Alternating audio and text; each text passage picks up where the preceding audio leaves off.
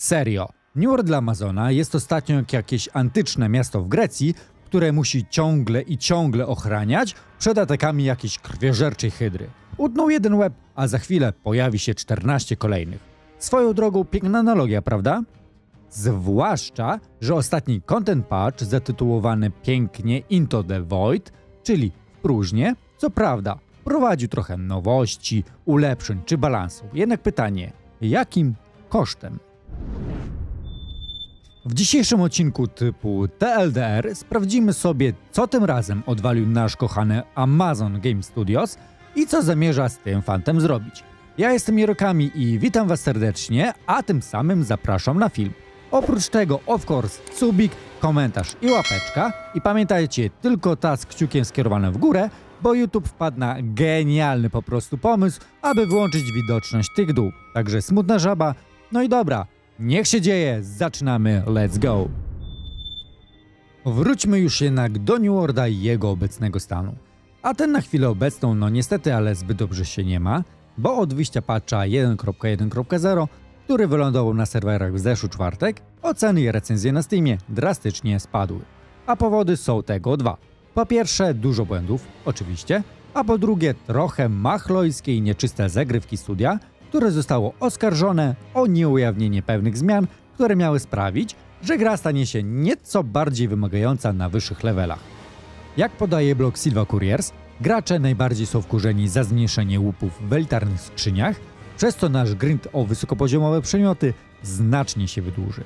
Zwiększenie ilości życia mobom również wkurzyło mega społeczność, przez co niestety bitwy trwają teraz zdecydowanie dłużej. A na dodatek wrogowie w obszarach końcowych są potężniejsi w zależności ilu graczy zbierze się, aby ich pokonać. Ogólnie według mnie zmiany nie są jakieś bardzo tragiczne, a wręcz e, nawet potrzebne. Problem jednak leży w tym, że nigdzie, dosłownie nigdzie nie było o nich ani słowa. Dobra, przejdźmy na forum gry, zobaczmy jak płonie. Ciekawe, czy w ogóle twórcy zauważyli już w jakie bagno cię walili i czy mają w ogóle jakikolwiek pomysł, jak się z niego wygrzebać. Jakby co, wszystkie linki znajdziecie w opisie. Mam przygotowane dla Was dwa wpisy twórców. Pierwszy odnosi się do niezapowiedzianego podniesienia trudności w grze, drugi natomiast jest komentarzem na nowo powstałe bugi. Zacznijmy więc od początku i zobaczmy, co mówią twórcy. W skrócie, dewowie piszą, że w sumie to logiczne, że utrudnili końcowe strefy gry, bo chcą mieć różne obszary, skąd gracze będą mogli zdobywać ekwipunek i rzeczy do np. craftingu. Jednak chcą, aby to nie była zwykła wyprawa, o przykład masełko do osiedlowego sklepu, a prawdziwa przygoda, a do tej pory wszystko to było stanowczo za łatwe. Oznajmiają również, że nie będzie jednego prawilnego, prawdziwego miejsca, skąd będą leciały te najlepsze rzeczy z najlepszym gierskorem, bo chcą, by gracze zaangażowali się w różne możliwości zdobycia giru, jak na przykład wojny, podstrasze, elitki, ekspedycje itd., a więcej ma się pojawić w przyszłości i każdy ma nam zaoferować spoko nagrody. No i na koniec info, że przyjrzy się kluczom do ekspedycji i dropem z elitarnych skrzyń. No i z tego wpisu to niestety już tyle. Krótko, nawet konkretnie, zobaczmy jednak, co mają do powiedzenia na temat błędów i jak bardzo i czego są świadomi.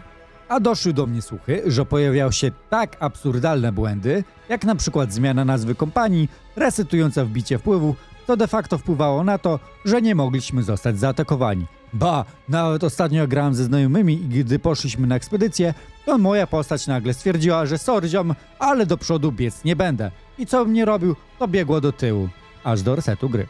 Więc po prostu wielkie XD. No ale dobra, zobaczmy co tu mamy, a jest tego zdecydowanie więcej. Po pierwsze, dostajemy info o stabilności i wydajności w grze. Nowy patch, czyli 1.1, nieco poprawił stabilność, jednak wydajność nadal kuleje. Rękawica próżni trochę im krwi napsuła, bo wprowadziła błąd, w którym nasze buffy i debuffy wykorzystują znacznie więcej przepustowości niż powinny, co najbardziej irytuje na wojnach inwazjach, gdzie gra po prostu nam laguje i fryzuje. Ma to zostać szybko ogarnięte i wrzucone na serwer po uprzednim przetestowaniu, mam nadzieję. Kolejnym wartym zainteresowania punktem jest rozwinięcie poprzedniego wpisu, czyli nieudokumentowanych zmian. Wymówką na ten temat jest również fakt, że pewna liczba zmian w patchu 1.1 została wprowadzana już kilka miesięcy temu i przez długi czas jej rozmiar patcha po prostu pracownicy nie ogarnęli wszystkiego, co zmienili.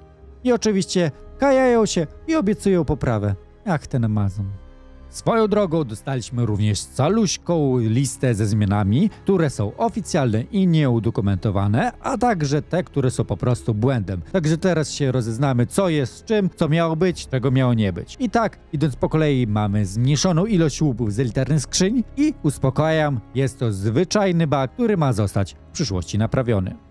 Słuchajcie teraz tego. Usunęli set żniwiarza, bo potraktowali wszystkie itemy do tej profesji jako content z przyszłych patchy. Po prostu bezmyślnie je usunęli.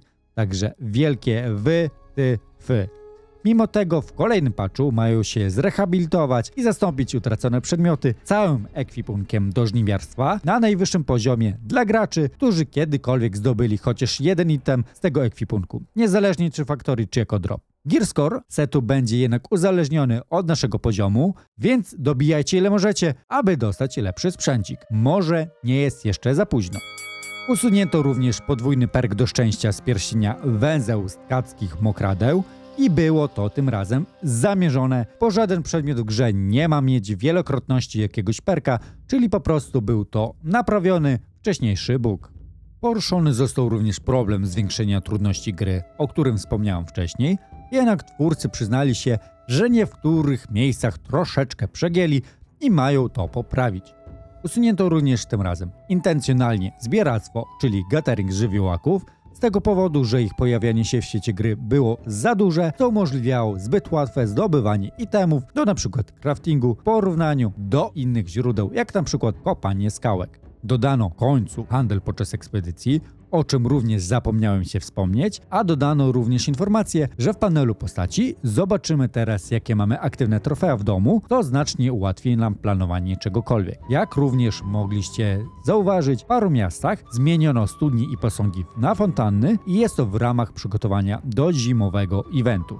A skąd wiem, że do zimowego? Luknijcie mój poprzedni odcinek. Tam znajdziecie więcej ciekawostek o przyszłości New Worlda. Mamy też małe zaktualizowane info na temat addonów, czyli takich małych programików wspomagających grę. Sprawa jest prosta. Nie mają prawa dawać graczom żadnej przewagi nad ludźmi, którzy nie korzystają z takich dobrodziejstw. A swoją drogą pobanowano handlarzy złotem i boty, a raporty spadły o 70% i to jest akurat dobra wiadomość. Niedługo kolejny patch i kolejne zmiany. Mam nadzieję, że będzie coraz lepiej i tym razem nie usuną czegoś bezmyślnie, bo smutna żaba. Pamiętajcie, subik, łapeczka i uśmiech na bordeczkach. Ja się z wami żegnam, życzę miłego dnia i do obejrzenia moich poprzednich odcinków zapraszam was serdecznie. Bajo!